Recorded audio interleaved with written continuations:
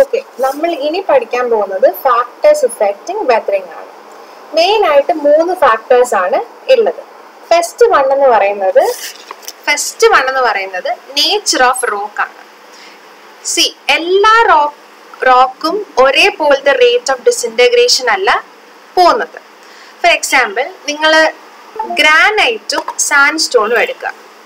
Okay sand സ്റ്റോണും ഗ്രാനൈറ്റും എടുക്കുവാണെങ്കിൽ അതിൽ സാൻഡ് സ്റ്റോണിനാണ് ഏറ്റവും കൂടുതൽ വെതറിങ് റെസിസ്റ്റൻസ് ഉള്ളത്.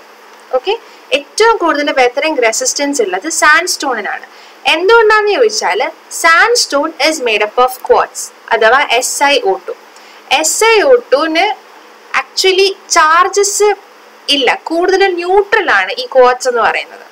അതുകൊണ്ട് തന്നെ it has a high it has high weathering resistance ആണ്. സോ സാൻഡ് സ്റ്റോണും ഗ്രാനൈറ്റും എടുത്താൽ ഗ്രാനൈറ്റ് ആയിരിക്കും ഏറ്റവും കൂടുതൽ ഡിസിന്റഗ്രേഷൻ നടക്കുന്നത്. എന്തുകൊണ്ടാന്ന് ചോദിച്ചാൽ ഗ്രാനൈറ്റിൽ ഫെൽസ്പാർ അലുമിന പ്ലാഗിയോക്ലേസ് അങ്ങനെ ഉള്ള മിനറൽസ് ഉണ്ട്. നമ്മൾ കെമിക്കൽ വെതറിങ്ങിൽ കെമിക്കൽ വെതറിങ് പഠിച്ചപ്പോൾ അതിൽ ഫെൽസ്പാറിനെ പറ്റി ഡീറ്റെയിൽ ആയിട്ട് പഠിച്ചതാണ്. ഓക്സിഡേഷൻ റിഡക്ഷനും ഹൈഡ്രോളിസിസും ഒക്കെ പഠിച്ച സമയത്ത്. സോ ഈ ഫെൽസ്പാർ അലുമിന പ്ലാഗിയോക്ലേസ് എന്ന് പറയുന്ന മിനറൽസിന്റെ കണ്ടന്റ് ഗ്രാനൈറ്റിൽ കൂടുതലായതുകൊണ്ട് ഗ്രാനൈറ്റ് ആണ് കെമിക്കൽ വെതറിങ് കൂടുതലും എക്സ്പീരിയൻസ് ചെയ്യുന്നത് when compared to sandstone so nature of റോക്കിനെ depend ചെയ്ത് ഇരിക്കും. ഓരോ റോക്കിനും ഓരോ റേറ്റ് ഓഫ് ഡിസിന്റഗ്രേഷൻ ആണ് ഉണ്ടാവുക സെക്കൻഡ് വൺ എന്ന് പറഞ്ഞാൽ ക്ലൈമറ്റ് ആണ്. നിങ്ങൾ ഒരേപോലത്തെ കല്ലിനെ മൂന്ന് ഡിഫറെന്റ് ക്ലൈമാറ്റിക് കണ്ടീഷൻസിൽ കൊണ്ട് വെച്ചാൽ ഈ മൂന്ന് കല്ലുകളുടെയും വെതറിങ് ട്രെൻഡ് എന്ന് പറയുന്നത് എന്റയർലി ഡിഫറെന്റ് ആയിരിക്കും. കാരണം എന്താണ്? ക്ലൈമാറ്റിക് കണ്ടീഷൻസ് ഡിഫറെന്റ് ആയതുകൊണ്ട് തന്നെ. നിങ്ങൾ കോൾഡ് ആൻഡ് ഹ്യൂമിഡ് കണ്ടീഷൻസ് എടുത്തു നോക്കാം. ഹ്യൂമിഡ് എന്ന് പറഞ്ഞാൽ എന്താണ്? അവിടെ മോയ്സ്ചർ കണ്ടന്റ് കൂടുതലായിരിക്കും. So cold and humid conditions എടുത്താൽ they favour both mechanical as well as chemical weathering ഈ രണ്ട് വെതറിങ്ങിനെയും ഒരേപോലെയാണ് cold and humid conditions favour ചെയ്യുന്നത്.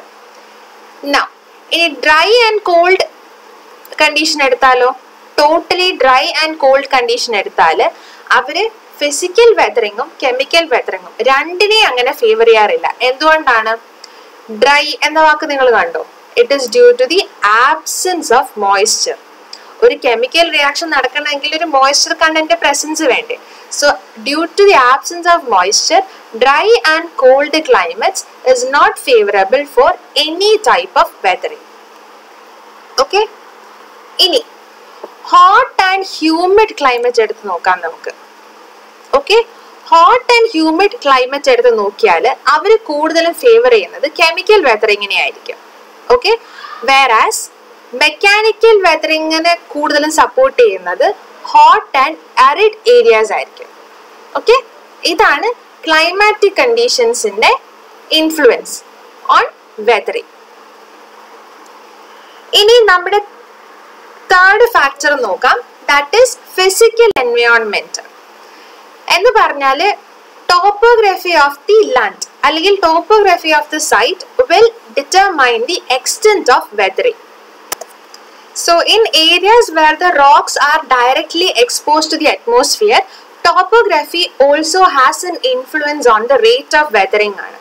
നമ്മളിപ്പം ഒരു സ്ലോപ്പി ഏരിയയും ഒരു ഫ്ലാറ്റ് ഏരിയ എടുത്താൽ സ്ലോപ്പി ഏരിയയിലുള്ള റേറ്റ് ഓഫ് ഡിസിന്റഗ്രേഷൻ അഥവാ വെതറിങ് ഫ്ലാറ്റ് ഏരിയനേക്കാളും കൂടുതലായിരിക്കും. എന്തുകൊണ്ടാന്ന് ചോദിച്ചാൽ സ്ലോപ്പി ഏരിയയിൽ വെതറിങ്ങിന് ശേഷം ഉണ്ടാവുന്ന എൻഡ് പ്രോഡക്ട്സ് എന്താ സംഭവിക്കുക?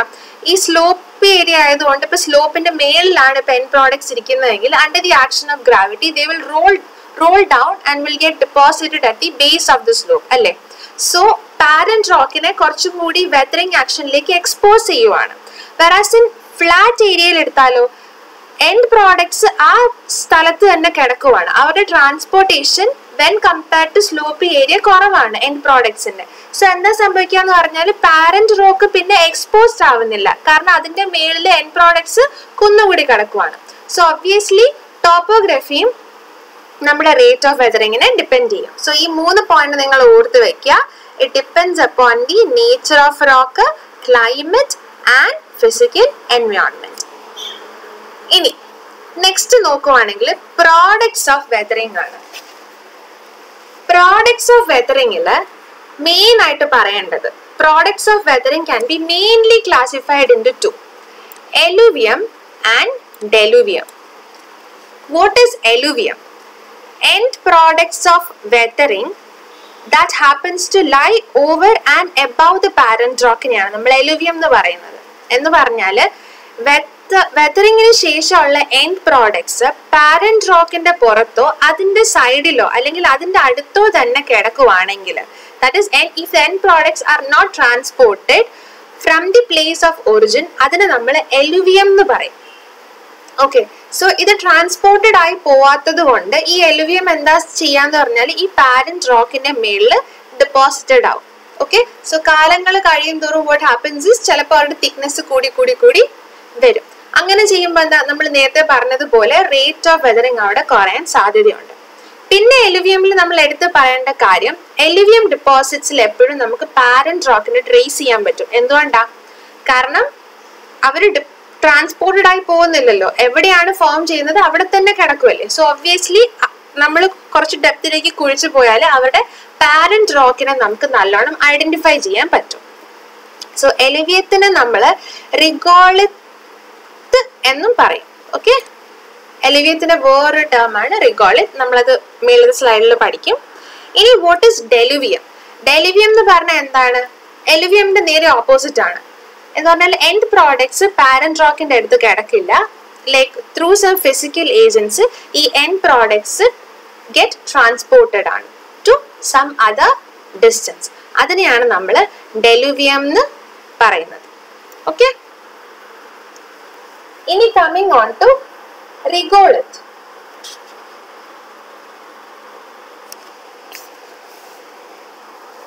regolith എന്ന് പറയുന്നത് ആക്ച്വലി എല്ലാ വെതേർഡ് മെറ്റീരിയലിനെയും കളക്റ്റീവ്ലി നമുക്ക് റിഗോളത്ത് എന്ന് പറയാം.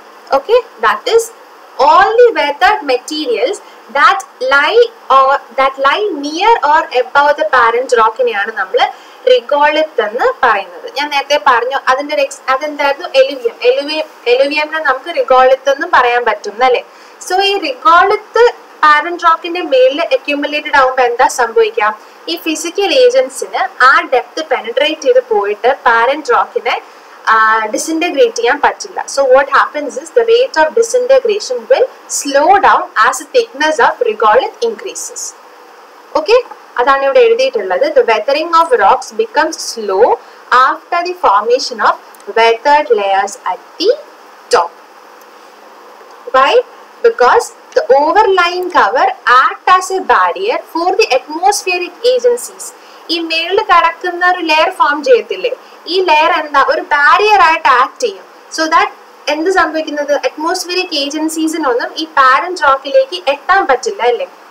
Because the extent of penetration will depend upon the depth of the regolith formed. അതുകൊണ്ടാണ് റേറ്റ് ഓഫ് ഡിസിന്റഗ്രേഷൻ അവിടെ ഡീസിലറേറ്റ് ആവുന്നത്. And the upper part of regolith is termed as soil okay റിഗോളിത്തിന്റെ upper term നമ്മൾ soil എന്ന് പറയുന്നത്. C ഈ weathered materials അവിടെ തന്നെ കിടക്കുവാണല്ലോ. ഈ അപ്പർ പാർട്ട് ഓഫ് റിഗോളത്ത് എന്താ സംഭവിക്കുക എന്ന് പറഞ്ഞാൽ they'll further undergo biological or chemical decomposition പോയിട്ട് എന്താ സംഭവിക്കുക പറഞ്ഞാൽ വെരി സ്മോൾ പെർട്ടിക്കുലേറ്റ് മാറ്റർ ആയിട്ട് കൺവേർട്ടഡ് ആവും. Get converted to very small particulate matter. അതിനെയാണ് നമ്മൾ സോയിൽ എന്ന് പറയുന്നത്. ഓക്കെ നമ്മൾ സോയിൽ എന്നൊരു വാക്ക് റിഗോളത്തിൽ കണ്ടതുകൊണ്ട് ഞാൻ സ്ട്രേറ്റ് അവേ സോയിൽ പ്രൊഫൈലിലേക്ക് പോവാണ്. അത് കഴിഞ്ഞിട്ട് നമുക്ക് അതിന്റെ ഇടയിലുള്ള ടോപ്പിക്സ് പഠിക്കാം. ഒരു കണ്ടിന്യൂഷൻ കിട്ടാൻ വേണ്ടിയാണ്. നോ എന്താണ് സോയിൽ സോയിൽ ഡെഫിനിഷൻ നമ്മൾ ഓൾറെഡി പറഞ്ഞായിരുന്നു. Soil is form due to the disintegration of rocks ആണ്.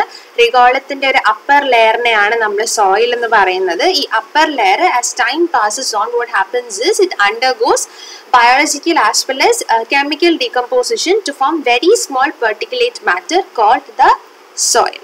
സോ ഈ സോയിൽ എന്ന് പറഞ്ഞാൽ actually it is a mixture of organic as well as inorganic മാറ്ററിൻ്റെ ഒരു മിക്സ്ചർ ആണ് നമ്മൾ ഈ സോയിൽ എന്ന് പറയുന്നത് and soil can support plant life on the surface of the earth okay and what is soil profile a vertical section from the surface down to the bedrock reveals various layers of soil which is termed as soil profile എന്ന് പറഞ്ഞാൽ it is nothing but the record of behaviour of soil with depth below the surface up to which the effect of weathering can be established അതിനെയാണ് നമ്മൾ ഈ soil profile എന്ന് പറയുന്നത്. Simply പറഞ്ഞാൽ ഓരോ layer നമ്മളൊരു വെർട്ടിക്കൽ ഡെപ്ത് എടുത്താൽ different different layers ആയിട്ട് നമുക്ക് ഡിഫറൻഷിയേറ്റ് ചെയ്യാൻ കഴിയും.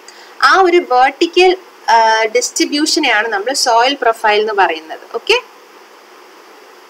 ഇനി സോയിൽ പ്രൊഫൈൽ നമ്മൾ എടുക്കുവാണെങ്കിൽ അതിനെ നമുക്ക് മെയിൻ ആയിട്ട് നാല് സോൺസ് ആയിട്ട് ഡിവൈഡ് ചെയ്യാൻ പറ്റും. ഓക്കെ ഒരു ഓർഗാനിക് ലെയർ അതിന്റെ താഴെ ഒരു A horizon B horizon C horizon and finally the D horizon ആണ്.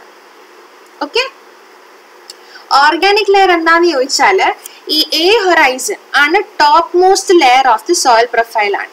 സോ അതിൽ ഏറ്റവും കൂടുതൽ ഹ്യൂമസ് കണ്ടന്റ് ഹ്യൂമസ് കണ്ടന്റ് എന്ന് പറഞ്ഞാൽ organic acid form due to the decomposition of vegetation vegetation ഞാൻ നേരത്തെ പറഞ്ഞു soil will support plant life ആണ്. സോ എന്താ ഈ പ്ലാന്റ് മരിക്കും പിന്നെ നമ്മൾ ഡെഡ് ഓർഗാനിക് മാറ്റേഴ്സിനെ കുഴിച്ചിടും. സോ അവരൊക്കെ ഡീകേ ചെയ്തിട്ട് ഓർഗാനിക് ആസിഡ്സ് ഫോം ചെയ്യുക അതിനെയാണ് നമ്മൾ ഹ്യൂമസ് എന്ന് പറയുന്നത്. സോ ഏറ്റവും കൂടുതൽ ഹ്യൂമസ് കണ്ടന്റ് ഉണ്ടാവുന്നത് ടോപ്പ് മോസ്റ്റ് ലെയറിലാണ്. അതിനെയാണ് നമ്മൾ ഓർഗാനിക് ലെയർ എന്ന് പറയുന്നത്. ഈ ഓർഗാനിക് ലെയർ എന്ന് പറഞ്ഞാൽ എ ഹൊറൈസന്റെ ടോപ്പ് മോസ്റ്റ് ലെയറിനെയാണ് നമ്മൾ ഓർഗാനിക് ലെയർ എന്ന് പറയുന്നത്. ഇനി എ ഹൊറൈസൺ അഥവാ സോൺ എ എന്ന് പറയുന്നത് it is entirely made up of completely weathered soil ആണ്. ഓക്കെ കംപ്ലീറ്റ്ലി വെത്തേഡ് ആണ് നമ്മുടെ ഈ എ ഹൊറൈസണിൽ ഉള്ളത് അതിൽ ഓർഗാനിക് മാറ്ററുള്ള ലെയറിനെയാണ് നമ്മൾ ഓർഗാനിക് ലെയർ എന്ന് പറയുന്നത്. Now moving on to second layer that is B horizon അഥവാ ബി സോൺ അതിന് നമ്മൾ സബ് സോയിൽ എന്ന് പറയും. ഈ ബി സോണിൽ കംപ്ലീറ്റ്ലി വെത്തേഡ് സോയിലും കാണും പാർഷ്യലി വെത്തേഡ് സോയിലും കാണും. ഓക്കെ ഒരു മിക്സഡ് കമ്പോസിഷൻ ആയിരിക്കും നമുക്ക് ബി ഹൊറൈസണിൽ കാണുന്നത്. എന്ന് പറഞ്ഞ ബി ഹൊറൈസണിൽ മണ്ണും കാണും കുറച്ച് കല്ലും കാണും. അത് കഴിഞ്ഞിട്ട് തേർഡ് സോൺ ആണ് സി സോൺ അഥവാ സി ഹൊറൈസൺ എന്ന് പറയുന്നത്. ഈ സി ഹൊറൈസൺ എന്ന് പറഞ്ഞാൽ തിയറിറ്റിക്കലി നോ സോയിൽ സോൺ എന്നാണ് നമ്മൾ പറയുന്നത്. ഈ സി ഹൊറൈസണിൽ ആക്ച്വലി സോയിൽ ഒന്നും കാണില്ല. പകരം വെത്തേർഡ് റോക്ക് ആയിരിക്കും ഉണ്ടാവുക. ഓക്കെ വെതറിങ് അല്ലെങ്കിൽ വെതേർഡ് അറ്റാക്ക് നടന്ന റോക്ക് ആയിരിക്കും ഈ സീ ഹൊറൈസണിൽ ഉണ്ടാവുന്നത് ആൻഡ് ഏറ്റവും താഴെ ഉള്ളതാണ് ഡി ഹൊറൈസൺ ഡി ഹൊറൈസൺ എന്ന് പറയുന്നത് സി ഹൊറൈസന്റെ ബോട്ടം തൊട്ട് അങ്ങ് താഴോട്ട് ഇൻഡെഫിനൈറ്റ് ഡെപ്ത് വരെ നീണ്ടു പോകും. ഡി ഹൊറൈസൺ എന്ന് പറഞ്ഞാൽ എന്താണ്? It is nothing but the parent റോക്കിനെയാണ് നമ്മൾ ഡി ഹൊറൈസൺ എന്ന് പറയുന്നത്. സോ ഈ സോയിൽ പ്രൊഫൈൽ എന്ന് പറയുന്നത് വളരെ ഇമ്പോർട്ടന്റ് ആയിട്ടുള്ള ഒരു ടോപ്പിക്കാണ് കെ ടി ഒക്കെ എക്സാംസിനൊക്കെ ചോദിച്ച് വരുന്ന ചോദിച്ച് വരുന്ന ക്വസ്റ്റ്യൻസ് ആണ്. സോ സോൾ പ്രൊഫൈൽ ചോദിച്ചാൽ ഫസ്റ്റ് നിങ്ങളിത് വരയ്ക്കുക വരച്ചിട്ട് ഓരോ ലെയറിനെ പറ്റി അതിന്റെ ഒന്നോ രണ്ടോ സെന്റൻസ് എഴുതുക. ഇതാണ് മെയിൻ ആയിട്ട് സോയിൽ പ്രൊഫൈലിനെ പറ്റി പറയാനുള്ളത്. സോ അതിന്റെ ഡീറ്റെയിൽഡ് ആയിട്ടുള്ള ഡെഫിനീഷൻ അതിന്റെ തൊട്ട് താഴത്തെ പി ഡി എഫിലുണ്ട് ഓക്കെ നമ്മുടെ സോയിലിലെ ഫൈനൽ ടോപ്പിക് ആണ് ജിയോളജിക്കൽ ക്ലാസിഫിക്കേഷൻ ഓഫ് സോയിൽ ഇതിൽ ഭയങ്കരമായിട്ടൊന്നും പഠിക്കാനില്ല. കുറച്ച് പേരും അതിന്റെ ഡെഫിനേഷൻസും മാത്രമേ ഉള്ളൂ. ഞാൻ ജസ്റ്റ് ഒന്ന് പറയാം. ഫസ്റ്റ് വരുന്നത് റെസിഡുവൽ സോയിൽ റെസിഡുവൽ സോയിൽ എന്ന് പറഞ്ഞാൽ if the end products remain at the place of origin അതിനെയാണ് നമ്മൾ റെസിഡുവൽ സോയിൽ എന്ന് പറയുന്നത്. ഓക്കെ അതിന്റെ എക്സാമ്പിൾ ആണ് red and black soil okay and the depth of residual soil അത് varies from place to place ആണ്. കാരണം എക്സ്റ്റെന്റ് ഓഫ് വെതറിങ്ങിനെ ഡിപ്പെൻഡ് ചെയ്തിരിക്കും റെസിഡുവൽ സോയിലിന്റെ ഡെപ്ത് ഇനി ട്രാൻസ്പോർട്ടഡ് സോയിൽ എന്താണ്? If the weathered end products are transported away from the parent rock by any physical agents അതിനെയാണ് നമ്മൾ ട്രാൻസ്പോർട്ടഡ് സോയിൽ എന്ന് പറയുന്നത്. വിൻഡോ ലേക്കോ റിവേഴ്സോ or by the action of gravity if they are being transported then അതിനെ നമ്മൾ transported soil എന്ന് പറയും. സോ ജിയോളജിക്കൽ ക്ലാസിഫിക്കേഷനിൽ മെയിൻ ആയിട്ട് രണ്ടെണ്ണമാണ് ഉള്ളത് റെസിഡുവൽ സോയിലും ട്രാൻസ്പോർട്ടഡ് സോയിലും ഇനി ട്രാൻസ്പോർട്ടഡ് സോയിലിനെ തന്നെ based on the physical agents that transport the soil they can be further classified ആണ്. ഫെസ്റ്റ് വരുന്നത് കൊളുവിയൽ സോയിലാണ് കൊളുവിയൽ സോയിലിൽ എന്താണ്? ഫിസിക്കൽ ഏജന്റ് ഗ്രാവിറ്റി ആണെങ്കിൽ if physical agent is gravity എന്നതിനെ കൊളിവിയൽ സോയിൽ എന്ന് പറയും. ഞാൻ നേരത്തെ പറഞ്ഞപ്പോൾ സ്ലോപ്പിന്റെ മേളിലാണ് ഒരു ബെഡ് റോക്ക് ഇരുന്നത്. അത് ഡിസിന്റഗ്രേറ്റ് ആയെങ്കിൽ under the action of gravity എന്താ സംഭവിക്കുക? അത് റോൾ ചെയ്ത് സ്ലോപ്പിന്റെ താഴെ വന്ന് കിടക്കും. സോ ആ താഴെ വന്ന് കിടക്കുന്ന സോയിലാണ് നമ്മൾ കൊളിവിയൽ സോയിൽ എന്ന് പറയുന്നത്. ഇനി അലുവിയൽ സോയിൽ എന്താണ്? If the soil is transported by river river ആണ് അതിനെ ട്രാൻസ്പോർട്ട് ചെയ്യുന്നതെങ്കിൽ നമ്മൾ അതിനെ അലുവിയൽ സോയിൽ എന്ന് പറയും. ഈ സോയിൽസ് ഹൈലി ഫെർട്ടൈൽ ആണ്. സോറി ഇറ്റ്സ് ഹൈലി ഫെർട്ടൈൽ ഇനി ഗ്ലേഷ്യൽ സോയിൽ എന്ന് പറഞ്ഞാൽ എന്താണ്? Soil transported by glacial actions നമ്മുടെ ഗ്ലേസിയേഴ്സ് ഉണ്ടല്ലോ അത് ആക്ച്വലി കണ്ടിന്യൂസ്ലി മൂവ്മെന്റിലാണ് സോ അവരുടെ മൂവ്മെന്റ് കാരണം some of the soils get transport അതിനെയാണ് നമ്മൾ ഗ്ലേഷ്യൽ സോയിൽസ് എന്ന് പറയുന്നത്. പക്ഷേ they are not at all fertile പിന്നെ വരുന്നത് എയലൻ സോയിൽ ആണ്. ആ വാക്കിൽ നിന്ന് തന്നെ നമുക്ക് മനസ്സിലായി. എന്താണ്? The soil transported by wind ആണ്. അതിന്റെ എക്സാമ്പിൾ ലോയ്സ് ഡസ്റ്റ് സാൻഡ്യൂൺസ് ഒക്കെയാണ് എയലൻ സോയിലിന്റെ എക്സാമ്പിൾസ് ആയിട്ട് വരുന്നത്. And finally we have the lacustrine soil lacustrine soil are the soil deposited by lake ആണ്.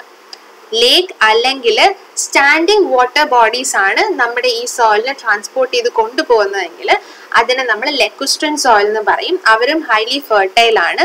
They are rich in organic material ആണ്. Okay ഇതാണ് geological classification of soil